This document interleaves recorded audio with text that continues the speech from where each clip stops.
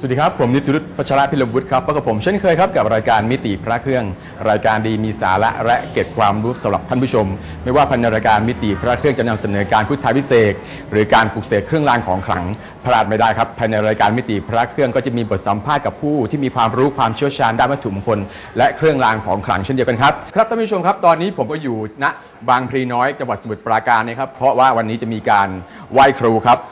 วิธีการไหว้ครูต่างๆ ก็จะมีการสักมีการครอบเสียนต่างๆ เพราะว่า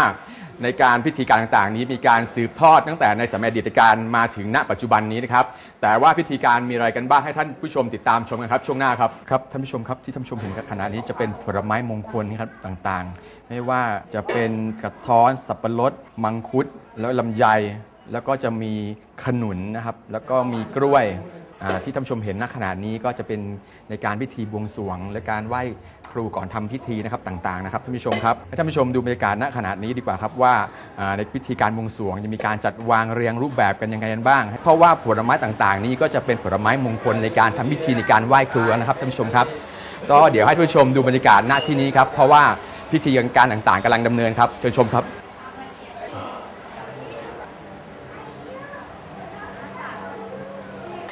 ครับท่านผู้ชมครับขณะนี้พี่ท่านนี้กำลังจุดธูปธูปทั้งหมดมีทั้งหมด 16 ดอกครับในการทำพิธีในการบวงสรวงในก่อนทำพิธีการไหว้ครูนะครับท่านผู้ชมครับ 16 ดอกนี้พิธีเปิด 16 ชั้นฟ้า 15 ชั้นดินนะครับ โดยการขอเทวดาหรือว่าขอสิ่งศักดิ์สิทธิ์ต่างๆ มาร่วมในการทำพิธีในครั้งนี้นะครับท่านผู้ชมครับ แล้วก็ข้างบน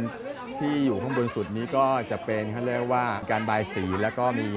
อีกชิ้นหนึ่งที่ว่าอยู่ในกล่องโฟมเขาเรียกว่าเป็นการปักชามนะครับท่านผู้ชมครับก็ถือว่าการบายสีนี่เป็นการไหว้ก่อนทำพิธีในการไหว้ครูหรือครอบเสียนพ่อปู่นะครับท่านผู้ชมครับทำตามพิธีโบราณนะครับท่านผู้ชมครับ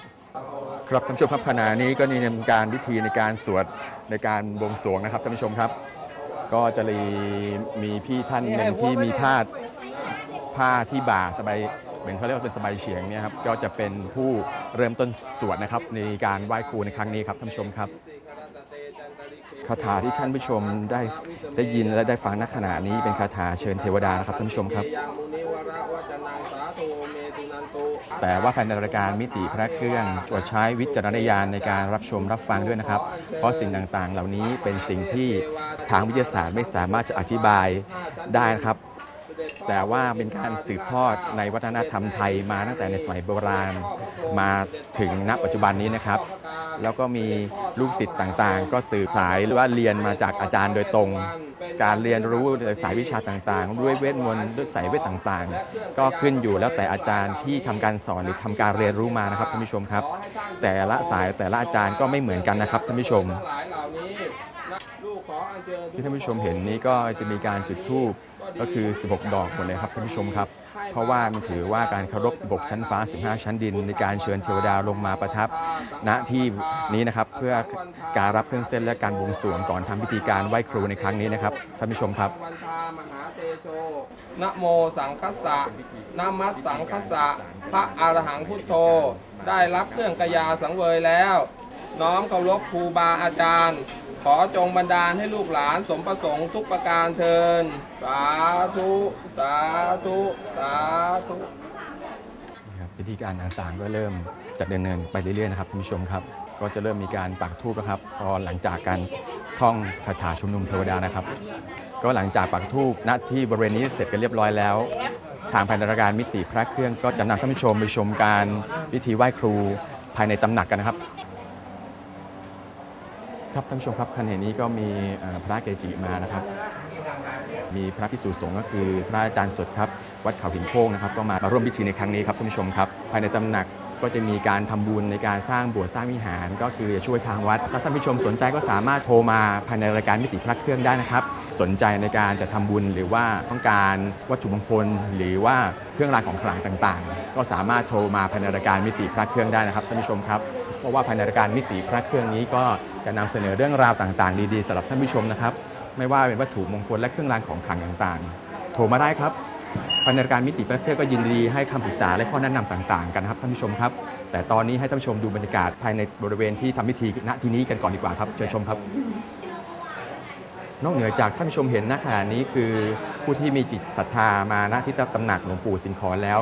ข้างล่างก็ยังมี ลูกศิษย์ลูกหาต่างๆ ก็รอขึ้นมาทำพิธีการไหว้ครูด้วยเหมือนกันนะครับท่านผู้ชมครับ แต่ว่าภายในในตำหนักณข้างบนที่นี่เนื้อที่ค่อนข้างจะจำกัดสักเล็กน้อย เพราะว่าการวางเครื่องเส้นไหว้เต็มพื้นที่ณบริเวณนี้ไปหมดแล้วนะครับท่านผู้ชมครับก็หลังจากไหว้เสร็จก็จะมีทำการเคลื่อนย้ายกันนะครับในการทำพิธีต่างๆ ก็มีการจุดเทียนก็เหมือนที่วัดหรือการปลูกเสกก็เหมือนกับการจุดเทียนชัยกันนะครับแต่ว่าที่อยู่ที่ตำหนักก็คือในการจุดเทียน เพื่อเคารพสิ่งศักดิ์สิทธิ์ภายในตำหนักนี้นะครับไม่ว่าจะเป็นเสียงพ่อแก่เอง หรือว่าเป็นเสียง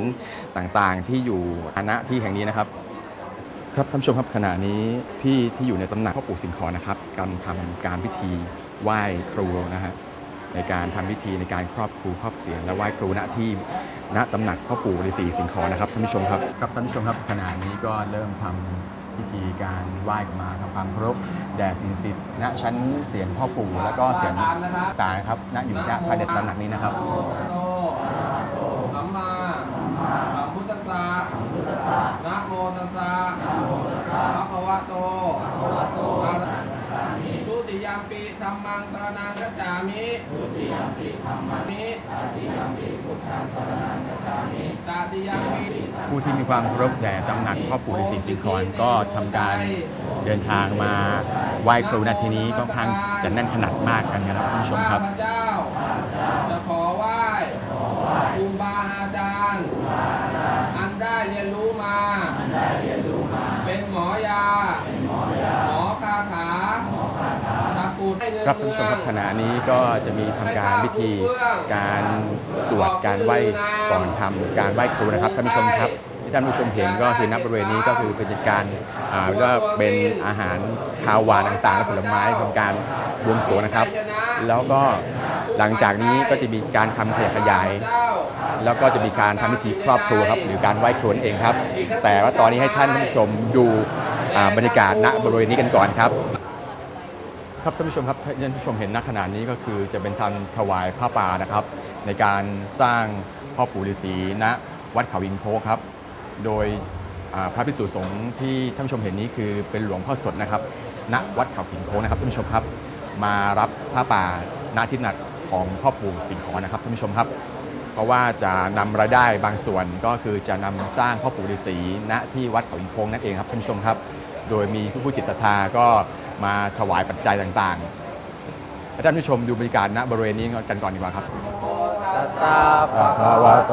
อะระหะโตสัมมาสัมพุทธัสสะ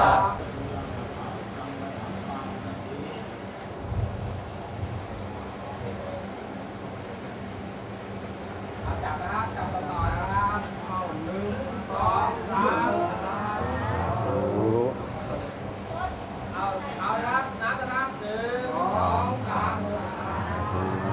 เอาข้าวอีกอันหนึ่งหนึ่งสองสาม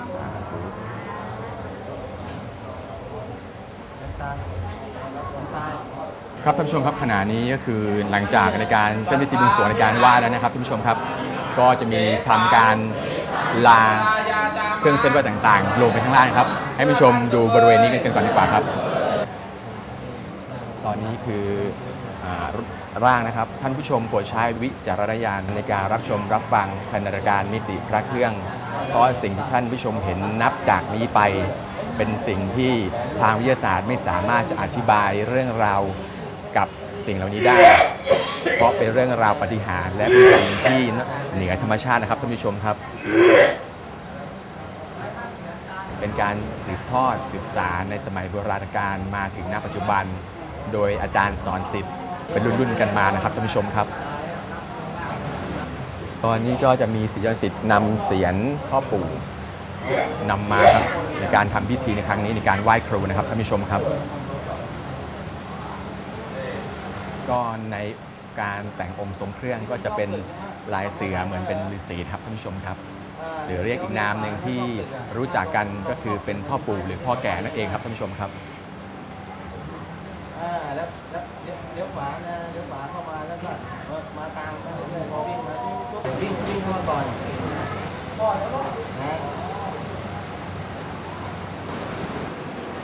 ครับท่านผู้ชมครับขณะนี้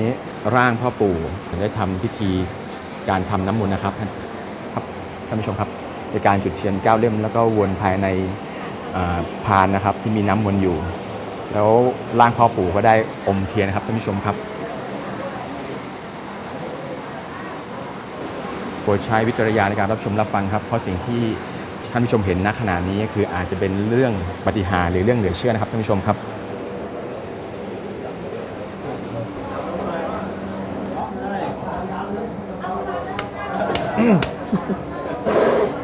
สักครู่ก็พ่อปู่ก็ได้พรมน้ำมนต์นะครับ ให้แด่นักนิสิตต่างๆนะครับ ในการมาไหว้ครูในครั้งนี้ครับท่านผู้ชมครับ ตอนนี้ท่านผู้ชมเห็นก็คือจะมีการเริ่มทยอยนำพานผลไม้ต่างๆ ลงไปข้างล่างนะครับท่านผู้ชมครับ ก็หลังจากนี้ก็ลูกศิษย์ลูกหาก็สามารถจะนำผลไม้กลับไปทาน ก็ถือว่าเป็นอาหารมงคลนะครับท่านผู้ชมครับ หลังจากในการทำพิธีในการเส้นไหว้แล้วนะครับท่านผู้ชมครับ แต่ก็จะมีพี่ท่านหนึ่งที่ตัดไม่ว่าไก่หรือเป็ดบางชีสบางส่วนใส่ถาด เพราะว่าจะนำเอาไปให้กับสัมภเวสีนะครับที่ที่ล่องลอยหรือว่าไม่มีที่ไม่มีทางหรือว่ายังไม่ได้ไปไหนนะครับ ไม่ได้ผุดไม่ได้เกิดนะครับท่านผู้ชมครับ ก็ให้รับส่วนบุญแล้วก็อาหารณที่นี้ด้วยครับท่านผู้ชมครับ ตอนนี้สิทธิานุสิทธิ์ต่างๆ ก็ยกที่นั่งหรือเขาเรียกอีกอย่างหนึ่งก็คืออาสนะนั่นเองนะครับ ครับท่านผู้ชมครับขณะนี้ก็คือ ก็พ่อปู่ได้นั่งพำนับหรืออาสนะเรียบร้อยแล้วนะครับท่านผู้ชมครับข้างๆก็จะมีหมากพลูเตรียมแล้วก็มีบุหรี่ภายในรายการมิติพระเครื่องก็ขอย้ำอีกอย่างหนึ่งครับว่าการสูบบุหรี่เป็นอันตรายต่อสุขภาพนะครับ ถ้าเกิดมีเด็กได้ชมรายการมิติพระเครื่องผู้ใหญ่กรุณาช่วยบอกช่วยเตือนด้วยนะครับที่ท่านผู้ชมเห็นณขณะนี้คือจะเป็นเสียงพ่อปู่นะครับท่านผู้ชมครับ แล้วก็นี่คือเป็นร่างที่ว่าพ่อปู่ประทับทรงนะครับท่านผู้ชมครับ ภายในรายการมิติพระเครื่อง ก็อยากให้ท่านผู้ชมใช้วิจารณญาณในการรับชมรับฟังนะครับท่านผู้ชมครับเพราะสิ่งที่ท่านผู้ชมเห็นณขณะนี้ก็คือจะเป็นเรื่องราวที่เรียกว่านอกเหนือจากธรรมชาติโดยวิทยาศาสตร์ ไม่สามารถจะมีคำอธิบายหรือบอกกล่าวหรือสรุปได้อย่างที่แน่ชัดนะครับ เพราะว่าในการสืบสารตำนานประเพณีวัฒนธรรม ตั้งแต่สมัยโบราณจนถึงณปัจจุบันนี้ โดยที่อาจารย์ก็ถ่ายทอดให้แด่ลูกศิษย์เป็นรุ่นๆไปนะครับท่านผู้ชมครับ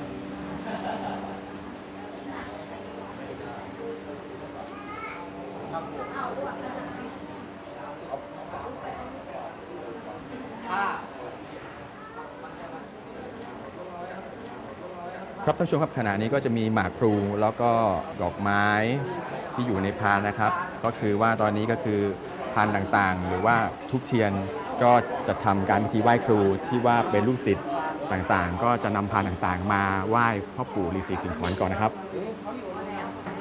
แต่พันธการมิติพระเครื่องโปรดใช้วิจารณญาณในการรับชมรับฟังด้วยครับท่านผู้ชมครับเพราะสิ่งที่ท่านเห็นต่อจากไปนี้ไปก็คือเป็นสิ่งที่ปัญหาหรือสิ่งเหลือเชื่อ โดยที่ทางวิทยาศาสตร์ไม่สามารถจะอธิบายได้นะครับท่านผู้ชมครับ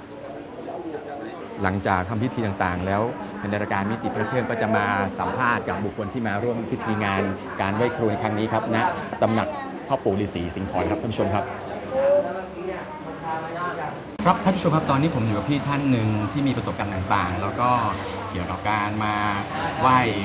ครูที่ณตำหนักพ่อปู่สิงห์ขอนนี้ครับต้องขอทักทายกับพี่ก่อนครับสวัสดีครับพี่ครับสวัสดีครับไม่ทราบว่าพี่ชื่ออะไรแนะนำตัวท่านผู้ชมสักเล็กน้อยครับผมชื่อนรงค์ศรีสวัสดิ์ครับ ก็อยู่ตำบลหนองพินน้อยครับ บ้านเดียวกับบ้านพ่อปู่ลิงขอนเลยครับครับผมก็พอดีผมทราบข่าวมาว่าพี่อ่าเคยเจอประสบการณ์ต่างๆ มีอะไรบ้างครับเล่าให้ทางรายการฟังสักเล็กน้อยคเอ่รับอเหตุการณ์ที่ผมประสบนะครับก็คือตอนเช้าของวันที่หนึ่งมีนานะครับ ก็ได้ประสบอุบัติเหตุที่เอ่อสนามบินสุวรรณภูมิ ซึ่งตอนนั้นเอ่อผมขับรถเก๋ง Honda City สีขาวนะ ไปทำงาน ปรากฏว่าผมจอดรอไฟแดงอยู่ ก็ ช่วงที่รอนั้นก็คือมีรถบัสซึ่งขับรถรับส่งพนักงานบริษัทไทยฮอนด้านะครับครับผมก็ได้มาชนรถผมซึ่งอัดก๊อปปี้กับวีโก้อีกคันหนึ่งซึ่งอยู่ข้างหน้าผม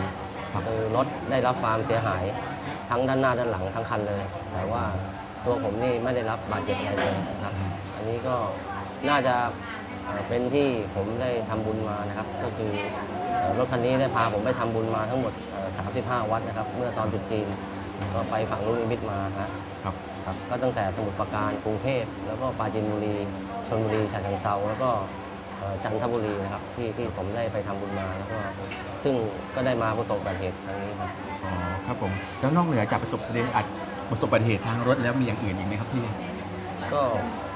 เพิ่งมีครั้งนี้ซึ่งจะโดนครั้งแรกซึ่งเป็นครั้งที่อุบัติเหตุซึ่งซึ่งร้ายแรงมากเลยครับอ๋อครับผมแล้วคือในการ มาไหว้หรือว่าอย่างนี้ก็คือจะเสริมสิริมงคลแก่ตัวพี่ใช่ไหมครับหรือว่ายังไงบ้างหรือว่า ก็ที่มางานไหว้ครูของแต่ละปีนะทุกทุกที่ครับผมที่ผมจะเดินทางไปเพื่อว่าจะได้เสริมบารมีให้กับเอ่อร่างของผมเองเพื่อจะได้เอ่อให้มี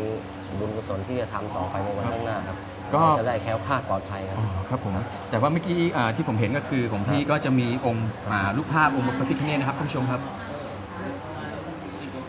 ก็คือว่าอ่านี่คือพี่เอามาเจิมเพื่ออ่าคือเอาไปบูชาที่ที่บ้านใช่ไหมครับอันนี้พ่อปู่เขาให้ อ๋อพ่อปู่ให้มานะครับ ครับแล้วก็เห็นทราบว่าพี่มีอ่าเขาเรียกว่ามี มี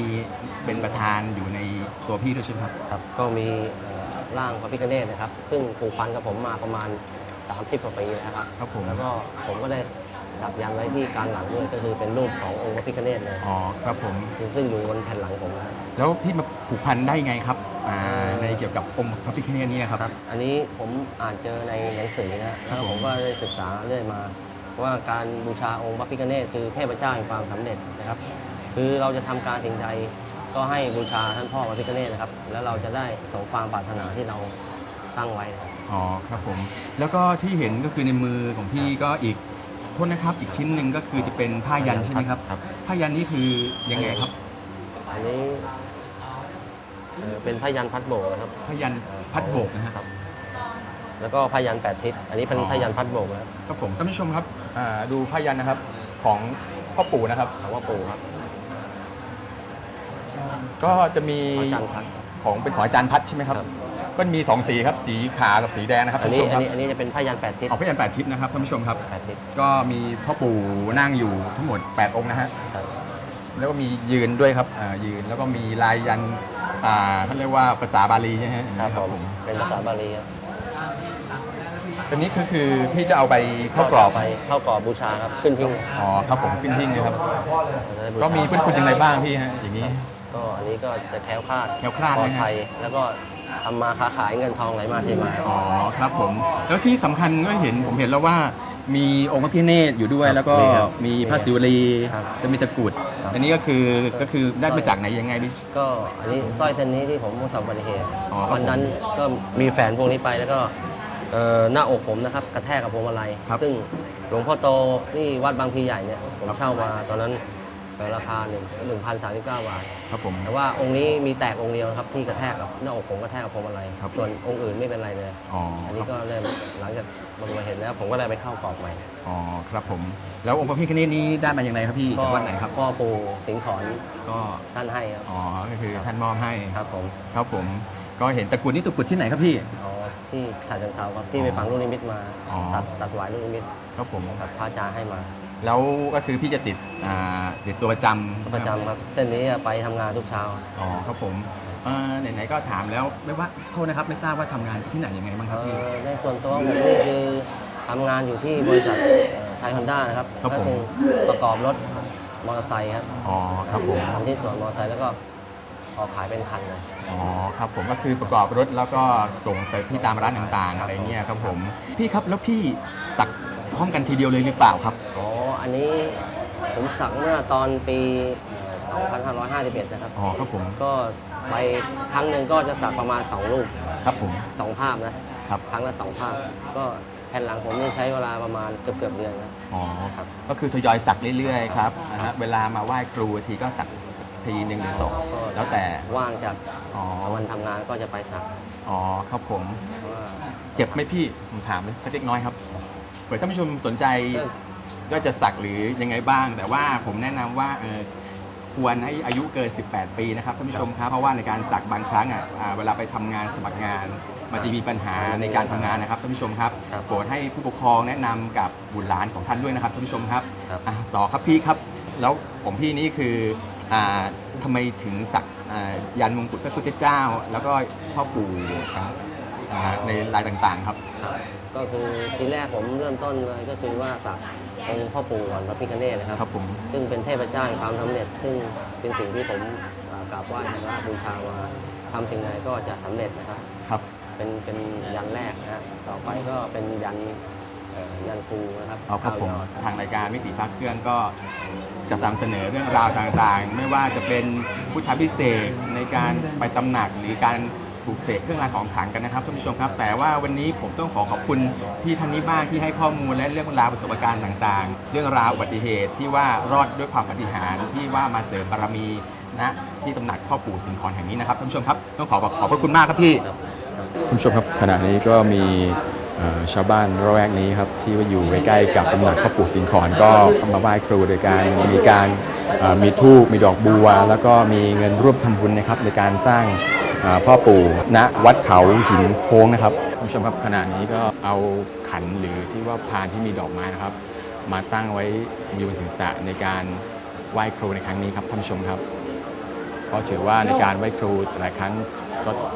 ถือว่าเป็นพิธีอันศักดิ์สิทธิ์เช่นเดียวกันครับเพราะถือว่าเป็นการเคารพครูบาอาจารย์ในการทำพิธีต่างๆ ภายในรายการมิติพระเครื่องก็จะมีบทสัมภาษณ์กับบุคคลที่มาร่วมพิธีงานในครั้งนี้ด้วยครับ ให้ท่านผู้ชมชมบรรยากาศพิธีในการรับขันก่อนนะครับท่านผู้ชมครับ พิธีการรับขันนั้นก็คือว่าจะเก็บพานหรือขันนี้ตั้งไว้บนหิ้งที่สูง แล้วก็เป็นการเคารพสการะครูบาอาจารย์นะครับ จะไม่นำขันไปทิ้งหรือไปวางที่ต่ำหรือที่มิควรวางนะครับท่านผู้ชมครับเพราะถือว่าในการรับขันนี้ก็คือขันนี้จะอยู่กับเราไปตลอด เพราะถือว่าครูบาอาจารย์ได้อยู่กับเรานั่นเองครับท่านผู้ชมครับ ครับท่านผู้ชมครับก็มีสัญญาณเสียงต่างก็มารับขันรับพานนะครับท่านผู้ชมครับครับท่านผู้ชมครับ ขณะนี้ก็เริ่มทำการครอบเสียนเป็นคนแรกในการพิธีไหว้ครูในครั้งนี้ครับท่านผู้ชมครับ ก็มีการท่องคาถาบทสวดในการครอบครูแต่ละครั้งก็ถือว่าเป็นการไล่สิ่งไม่ดีออกจากตัวหรือว่าป้องกันพยันอันตรายต่างๆ ที่ว่าจะเกิดขึ้นกับร่างกายและครอบครัวนะครับท่านผู้ชมครับ เป็นพิธีการอันศักดิ์สิทธิ์ในการเขาเรียกว่าเสริมสิริมงคลและบารมีในการไหว้ครูในครั้งนี้ครับท่านผู้ชมครับครับท่านผู้ชมครับขณะนี้ก็จะมีพี่ท่านหนึ่งมารับขันนะครับ เพราะถือว่าการรับขันเป็นการไหว้ครู แล้วก็เป็นการเคารพครูบาอาจารย์นะครับท่านผู้ชมครับให้ท่านผู้ชมดูบรรยากาศตอนนี้ครับท่านผู้ชมครับ แต่ที่เรียกว่าขันก็คืออาจจะเป็นขัน 5 ขัน 8 ขัน 9 แล้วแต่ครับ แล้วแต่ว่าบุคคลท่านใดจะมารับขันทางรายการวิทยุพระเครื่อง ก็ไม่สามารถจะสอบถามหรือข้อมูลได้เพราะว่าแล้วแต่บางท่านอาจจะรับขัน5ขัน8หรือขัน9 แล้วแต่บางท่านนะครับที่จะมารับกันครับท่านผู้ชมครับขณะที่มีเหตุการณ์ต่างๆเกิดขึ้น มีเหตุการณ์ต่างๆเกิดขึ้นนะครับก็อยากให้ท่านผู้ชมใช้วิจารณญาณในการรับชมรับฟังครับ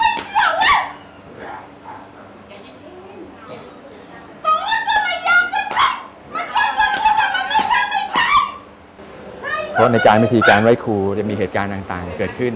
โดยที่ไม่สามารถจะอธิบายอะไรได้ครับท่านผู้ชมครับ ให้ท่านผู้ชมใช้วิจารณญาณในการรับชมนะครับท่านผู้ชมครับ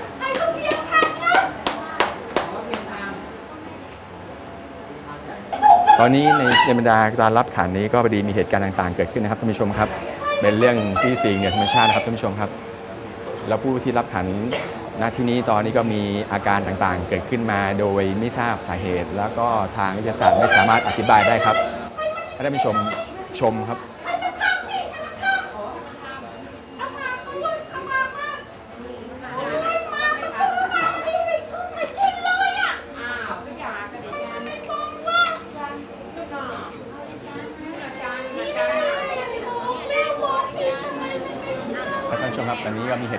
เกิดขึ้นมา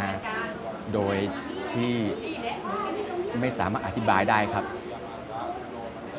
เพราะเหตุการณ์ในการไหว้ครูแต่ละสำนักหรือว่าแต่ละตำหนัก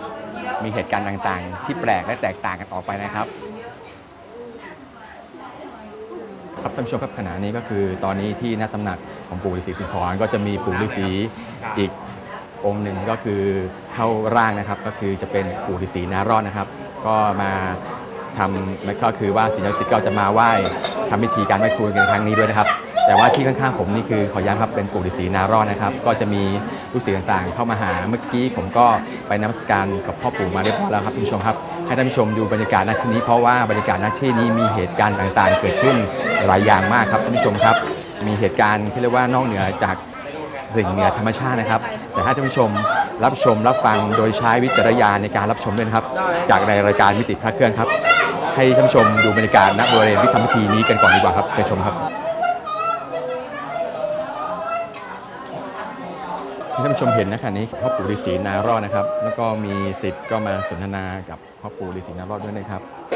แต่ว่าร่างที่มา เป็นร่างให้กับพ่อปู่ฤาษีนารอดนั้นก็คืออาจารย์กายที่เคยออกรายการมิติพระเครื่องมาแล้วนะครับท่านผู้ชมครับ ตอนนี้ก็มีเหตุการณ์ต่างๆ เกิดขึ้นณที่บริเวณในตำหนักพิธีการไหว้ครูในครั้งนี้ครับ แต่ว่าไม่ทราบว่าเป็นร่างหรือองค์องค์ใดหรืออย่างไรทางรายการมิติพระเครื่องก็มิทราบได้ครับ อยู่ก้ากึ่งระหว่างมนุษย์กับโลกอีกโลกหนึ่งท่านผู้ชมครับตอนนี้ก็มีเหตุการณ์ต่างๆ เกิดขึ้นมามากมายครับในภายในบริเวณที่ ไหว้ครูแห่งนี้นะครับท่านผู้ชมครับก็มีเหตุการณ์แปลกๆเกิดขึ้นมา โดยที่ไม่สามารถจะอธิบายได้นะครับท่านผู้ชมครับครับท่านผู้ชมครับในการครอบครูแต่ละครั้งก็มีเหตุการณ์ต่างๆ เกิดขึ้น ก็ให้ท่านผู้ชมโปรดใช้วิจารณญาณในการรับชมนะครับเพราะในการครอบครูหรือการไหว้พิธีการไหว้ครูแต่ละครั้ง ก็เป็นพิธีการอันศักดิ์สิทธิ์ก็ต้องเลือกวันในการทำพิธีต่างๆนะครับท่านผู้ชมครับ ก็ส่วนมากก็คือจะเน้นในทางวันพฤหัสเพราะว่าเป็นวันครูนะครับตามหลักเลือกของโหราศาสตร์ ที่ว่าทำกันมาแต่ในสมัยโบราณกาลว่าก่อนครอบครูรับการรับขันเป็นกันยังไง มีอะไรที่แปลกแตกต่างจากนอกเหนือสิ่งธรรมชาติครับ หรือเป็นสิ่งปฏิหารย์ที่บางคนหรือว่าทางวิทยาศาสตร์ก็ไม่สามารถจะกล่าวอธิบายได้ครับท่านผู้ชมครับครับท่านผู้ชมครับขณะนี้เดี๋ยวผมก็จะมาทำการพิธีไหว้ครูในการให้ปู่ครอบเสียให้ครับติดตามชมครับว่าพิธีการจะเป็นยังไงครับเชิญชมครับ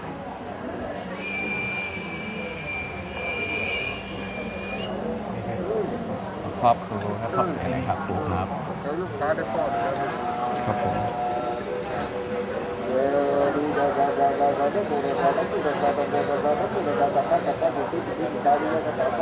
ครับท่านผู้ชมครับนี่คือการยกพันครบครูบาอาจารย์โดยยกให้พ่อปู่ครับครับมีการครับเสียงครั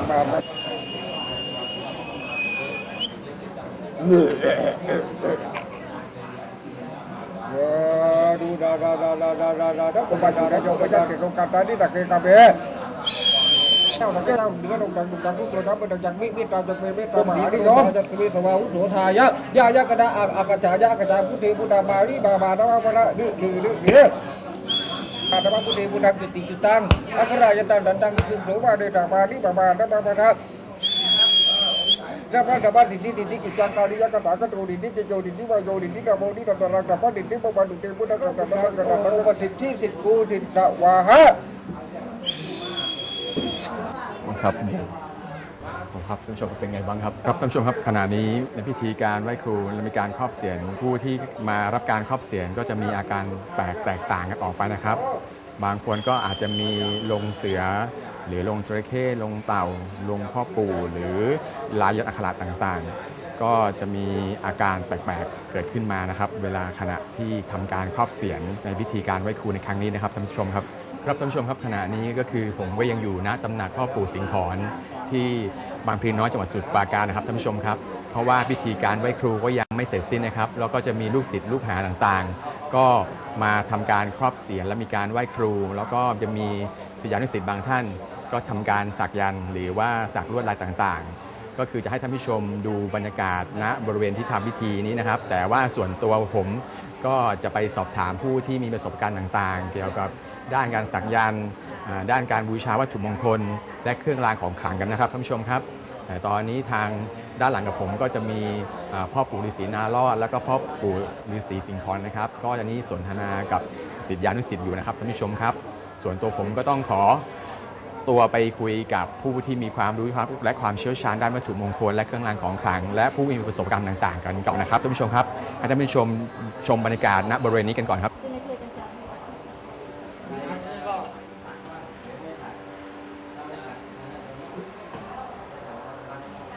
อย่างนี้ที่ท่านผู้ชมเห็นคือการสักสีนะครับ ก็จะมีสีแดง แล้วก็จะมีสีที่เห็นชัดคือเป็นสีดำแล้วก็อีกสีหนึ่งคือจะเป็นน้ำมันครับ น้ำมันคือเวลาพอแห้งแล้วก็จะไม่เห็นลวดลายต่างๆ ที่สักไปนะครับท่านผู้ชมครับ แล้วก็ที่ท่านผู้ชมเห็นขนาดนี้ก็จะมีคนต่างๆ ก็จะเริ่มทำการสักและณตำหนักพ่อปู่สิงห์ขอนครับท่านผู้ชมครับครับท่านผู้ชมครับขณะนี้ในการครอบครูก็มีเหตุการณ์ต่างๆ เกิดขึ้นณขณะนี้นะครับท่านผู้ชมครับ มีการครอบเสียนแล้วองค์ที่อยู่ในร่างลงในการสักยันต์หรือว่ามีพุทธคุณต่างๆ ก็จะปลูกของขึ้นมานะครับท่านผู้ชมครับ ก็แต่ละคนแต่ละท่านก็จะมีรูปแบบที่แตกต่างกันไปนะครับท่านผู้ชมครับ แต่ละท่านที่มาทำพิธีครอบครูก็จะมีเหตุการณ์ต่างๆ เกิดขึ้น แล้วแต่ว่าบุคคลท่านใดจะสักเทพองค์ใดหรือว่าสักรูปภาพท่านใดท่านผู้ชมโปรดใช้วิจารณญาณในการรับชมรับฟังจากภายในรายการมิติพระเครื่องด้วยนะครับท่านผู้ชมครับ ว่าพิธีการไหว้ครูหรือครอบครู ถือว่าเป็นพิธีการอันศักดิ์สิทธิ์เพราะถือว่าเป็นบรมจารย์ของแต่ละแขนงและสาขาต่างๆครับท่านผู้ชมครับไม่ว่าจะเป็นสายวงการบันเทิงทีวี หรือว่าจะทำธุรกิจแบบค้าขาย หรือว่าทำกิจการใดก็ถือว่าต้องมาเคารพพ่อปู่หรือพ่อแก่กันนะครับท่านผู้ชมครับ แล้วก็สิ่งสำคัญคือเป็นถือว่าเป็นการเสริมสิริมงคลแก่ตัวบุคคลที่ทำการครอบเสียรเองครับท่านผู้ชมครับ ครับท่านผู้ชมครับตอนนี้ผมอยู่ที่อ่าข้างหน้าพำนักของพ่อปู่ฤาษีนารอดนะครับท่านผู้ชมครับ แต่แล้วก็อ่ามีพี่ต่างๆก็เข้ามาทำการไหว้ครูกันกันนะครับท่านผู้ชมครับ แต่ต้องมาขอสวัสดีทักทายกับพี่ๆทั้ง 4 ท่าน 5 ท่านนี้ก่อนนะครับสวัสดีครับพี่ครับ สวัสดีครั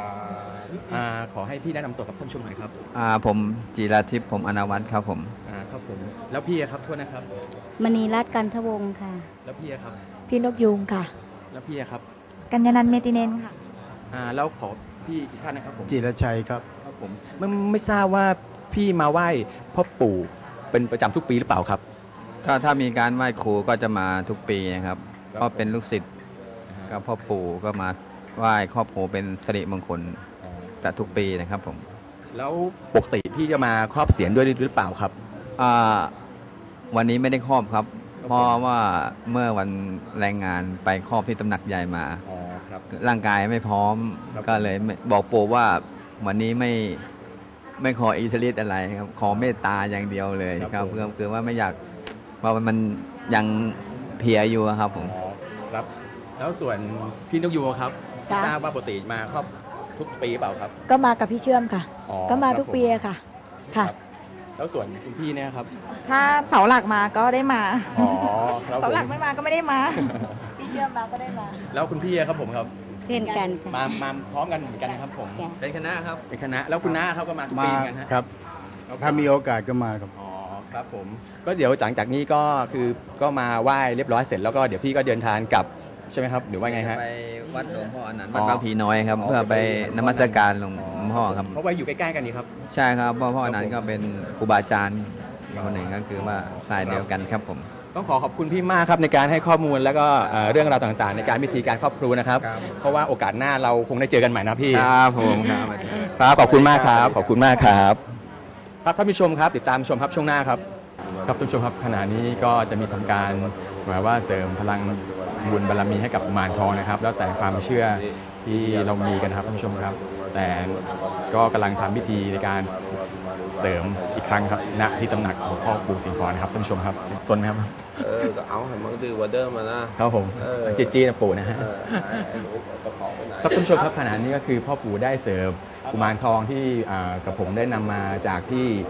บ้านนะครับท่านผู้ชมครับ เพราะว่าในส่วนตัวเองผมก็มีความเชื่อในด้านเกี่ยวกับด้านกุมารทอง การเช่าหาบ แล้วก็องค์พญาวานอนต่างๆครับท่านผู้ชมครับ เพราะว่าเป็นความเชื่อส่วนบุคคลนะครับ แล้วแต่ท่านผู้ชมจะพิจารณา แล้วก็ใช้วิจารณญาณในการรับชมรับฟังภายในรายการมิติพระเครื่องนะครับท่านผู้ชมครับ แต่ว่าผมก็ต้องเอากุมารทอง นี้ไปตั้งที่ชั้นก่อนนะครับ เพราะว่าตอนนี้ยังมีการถ่ายทำรายการกันอยู่นะครับท่านผู้ชมครับวันนี้ก็คือจะมีพี่ท่านหนึ่งครอบเสียนพ่อปู่ครับท่านผู้ชมครับ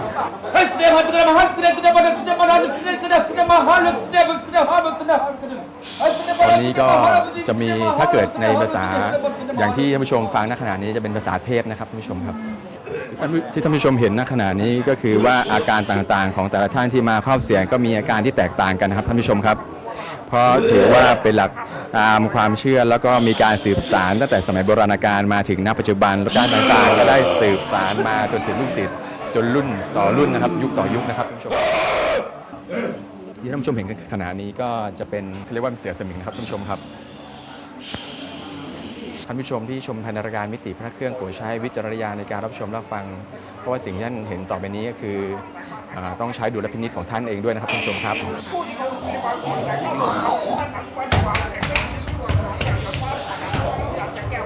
ครับท่านผู้ชมครับขณะนี้ก็คือจะเป็นลักษณะเหมือนอาการลิงลมครับในการไหว้ครูแต่ละครั้งหรือการครอบครูนะครับการเซฟตี้ในการมาไหว้ก็ต้องยอมถอยห่างนะครับ เพราะว่าอาจจะมีเหตุการณ์ที่เกิดอุบัติเหตุได้นะครับ เดี๋ยวผมก็จะทำการสักน้ำมันนะครับท่านผู้ชมครับ แต่ว่าเป็น ลายอะไรอย่างไร เดี๋ยวต้องมาสอบถามกับอาจารย์อีกทีครับ อาจารย์ครับเดี๋ยวอาจารย์จะลงลายอะไรให้ผมครับ เอ่อเรียกว่ายันนะเศรษฐียันนะเศรษฐีนะครับท่านผู้ชมครับ แต่ว่าที่ผมจะมาลงอ่าสักในครั้งนี้ก็คือจะเป็นลงน้ำมันนะครับ คือจะไม่มีสีอ่าจะไม่เห็นลายสักอย่างที่แบบอย่างอาจารย์ที่อ่า ที่แขนของอาจารย์นะครับท่านผู้ชมครับ แล้วก็คือสักน้ำมันนี้ก็จะอยู่ประมาณสักสัปดาห์นึงพอแผลแห้งสนิทปุ๊บก็ผิวหนังก็จะเป็นสีปกติเหมือนเดิม เหมือนว่าไม่มีอะไรเกิดขึ้นบนผิวหนังครับ แต่ว่าเมื่อกี้ก่อนหน้านี้ผมก็ไปสักกับอาจารย์ท่านหนึ่งมาครับก็จะแค่เป็นรอยแดงหน่อยๆสักนิดเดียวครับก็อยู่ประมาณ 3-7 วันครับ แผลก็จะหายเป็นปกติครับท่านผู้ชมครับ แต่ตอนนี้อาจารย์ก็กำลังทำความเขาเรียกว่าทำความสะอาดเครื่องไม้เครื่องมือนะครับในการฆ่าเชื้อต่างๆ ครับท่านผู้ชมครับ ก็เดี๋ยวให้ท่านผู้ชมดูครับว่ากรรมวิธีจะเป็นอย่างไรกันบ้าง อาจจะมีการดราฟหรือเปล่า ในการดราฟในการวางรูปแบบที่แขน หรือว่าณบริเวณที่ต้องการจะสักณบริเวณนั้นนะครับท่านผู้ชมครับในการสักก็จะมีใช้แอลกอฮอล์มาฆ่าเชื้อ แล้วไฟเผาอีกครั้งนะครับท่านผู้ชมครับ เพื่อเป็นการฆ่าเชื้อหลาย ๆ ครั้งด้วยความสะอาดเองหนึ่งเรื่องครับเป็นสิ่งสำคัญมากแล้วก็ผมขอแนะนำว่าอายุไม่ถึง 18 ปี ไม่สมควรจะสักนะครับท่านผู้ชมครับ ให้บรรลุนิติภาวะคือ 20 ปีขึ้นไปก่อนท่านผู้ชมได้ดูหรือว่าอยู่กับลูกหลาน ก็ให้ข้อความคิดเห็นและข้อแนะนำชี้แนะกับลูกหลานท่านด้วยนะครับ แล้วความสะอาดก็คืออาจารย์ก็จะเปลี่ยนตลอดนะครับ พวกอ่าถาดหลุมต่างๆ ก็ทำการเริ่มเลยครับอาจารย์ครับ เ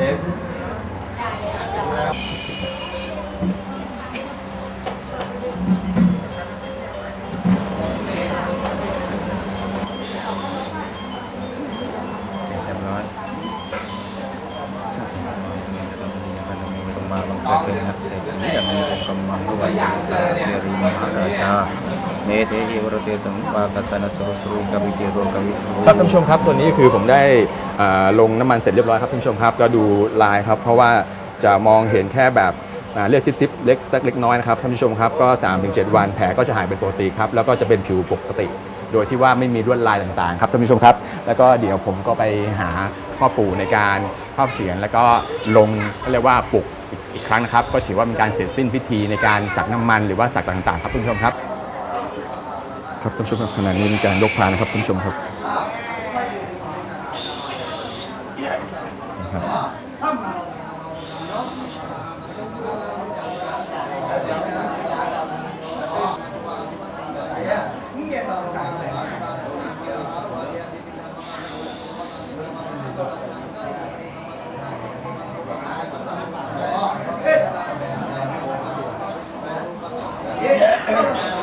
ตั้งจิตตั้งใจดีๆวิชาหนังสือกับครูบาอาจารย์ด้วยครับ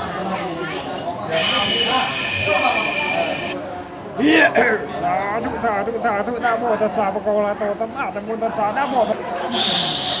พุทธังสารนังกัจจามิธรรมังสารนังกัจามิสังฆังสารนังกัจามิตุติยปิพุทธังสารนังกัจจามิตุติยปิธรรมังสารนังกัจามิตุติยปิสังฆังสารนังกัจามิตาติยปิพุทธังสารนังกัจจามิตาติยปิครับท่านผู้ชมครับก็ถือว่าเป็นการสิ้นสุดในการทำพิธีในการครอบครัวครับแต่ว่าวันนี้รายการมิติพระเครื่องได้หมดเวลาลงแล้วผมนิจุตประชาลพิรุณต้องขอลาท่านผู้ชมไปก่อนพบกับรายการมิติพระเครื่องได้ใหม่ในสัปดาห์หน้าครับสวัสดีครับ